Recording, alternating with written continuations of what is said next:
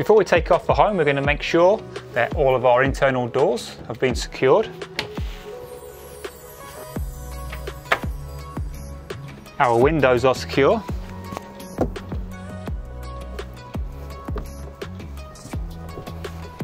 Our vents are all closed.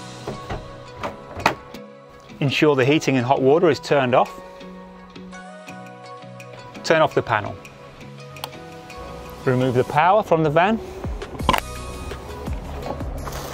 Don't forget to stow your lead.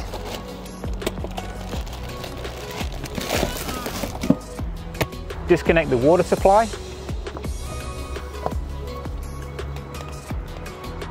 Disconnect the grey.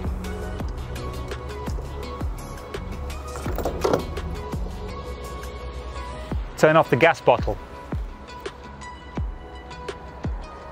Wind up the feet. Nothing loose or lying around and the habitation door